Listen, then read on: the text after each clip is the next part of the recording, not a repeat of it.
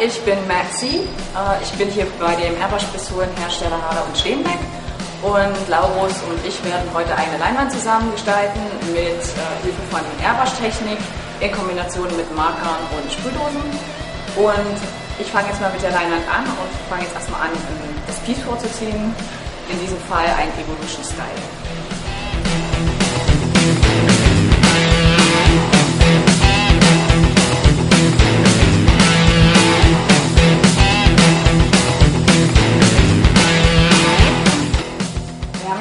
Groben alles vorgezogen und jetzt wird der Hintergrund mit Sprühdose erstmal schwarz eingefärbt.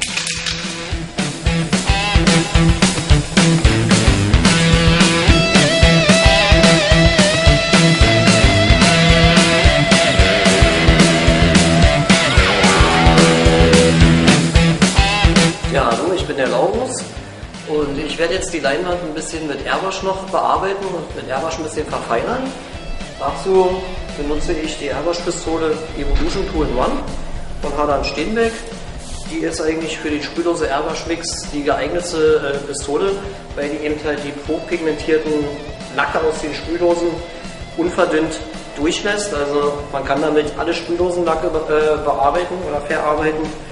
Und sie ist lösemittelbeständig, also die, äh, die Lichtungen gehen nicht kaputt durch die Sprühdosenlacke oder durch Aceton. Ja, und jetzt werde ich erstmal die Flächen, die Claudia, äh, die Metzi jetzt nicht erwischt hat, mit der Sprühdose, wie hier zum Beispiel diese Kanten, die werde ich jetzt mit Schwarz und mit Airbrush-Pistole erstmal sauber nachziehen.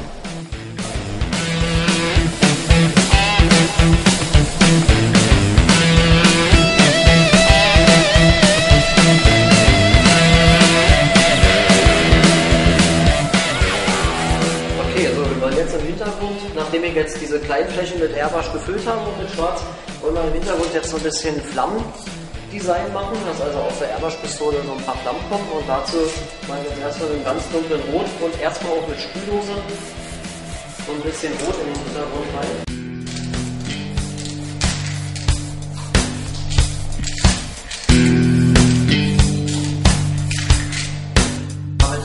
jetzt mal so ein bisschen als Struktur rein.